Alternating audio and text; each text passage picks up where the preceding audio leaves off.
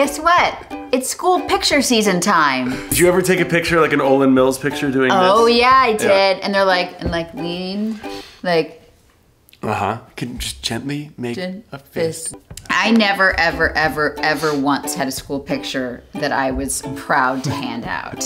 But you have to take the school picture picture because that's what goes in the yearbook. Even if you don't even distribute it, it's out there. Mm-hmm. And I found a whole bunch of yearbook photos. So while we look at Kim's pictures, we're gonna talk about how this is the week and our kids are keep reminding us that they are going to take pictures. Our, our kids, so they've been practicing their smiles because instinctively both of them smile like this. When they take pictures with us, they're adorable. And the, but at school they go one, two, three. Yeah. So we've got some advice on school photos. So step one, Number one, hair should not be in the shape of like something you're learning about in geometry. This was in the height of the perm stage before braces, and I I felt so amazing. I had to curl the bangs back, like half of them go back, half of it back, and then half of it forward, like like so yep.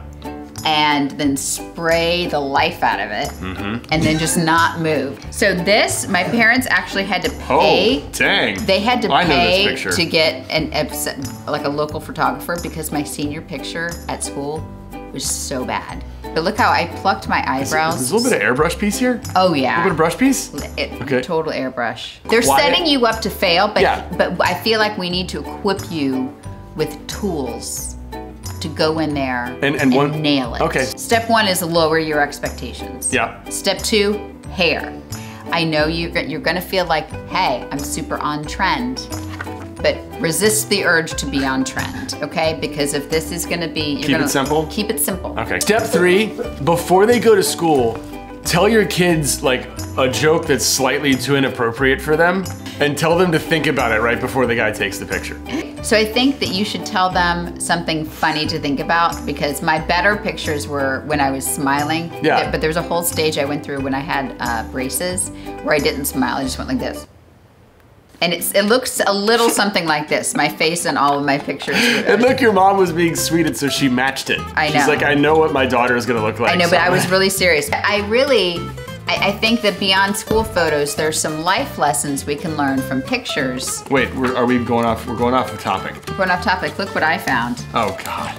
Whole book of headshots. Where did you find this? upstairs. I got distracted by this, and that's why I didn't get my yearbooks. So hang on, can I just defend myself? I'm not even gonna look at him. When I was in New York, you had to do these things. Oh, look. I tried out. He for looks all like he looks like a kind of vampire-ish there, actually. I tried out for all these commercials, that nobody hired. and I never got the job, but I got a lot of auditions from these photos. Look, Look I'm you. totally pushing out my muscle there. Aw, how do you push out your muscle?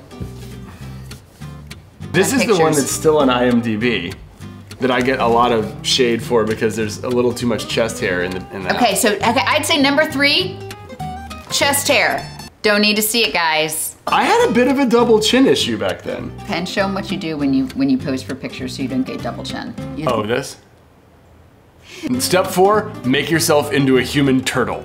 So don't smile like this. That's a, admit. scared turtle. Scared turtle. Don't be scared turtle. Be Be hungry sunshine turtle.